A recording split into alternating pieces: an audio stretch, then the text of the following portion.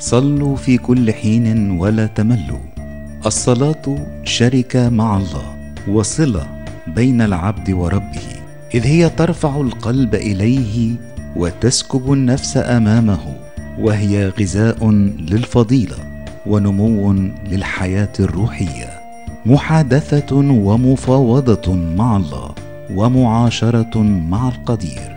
جلسة للمحبة. الصلاة تملأ النفس اشواقا حارة روحية.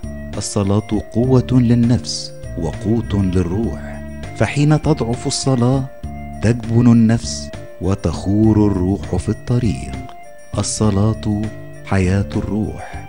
حين تبطل يجف ينبوع النعمة. القمص مينا البراموسي المتوحد.